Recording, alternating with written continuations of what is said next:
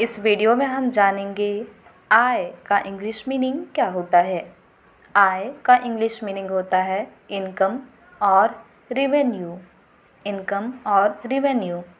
आइए इसे हम एग्ज़ाम्पल से समझते हैं। Example I need your income certificate to fill this form यहाँ इनकम का मतलब है आय। उदाहरण, मुझे यह फॉर्म भरने के लिए आपकी आय प्रमाण पत्र की आवश्यकता है।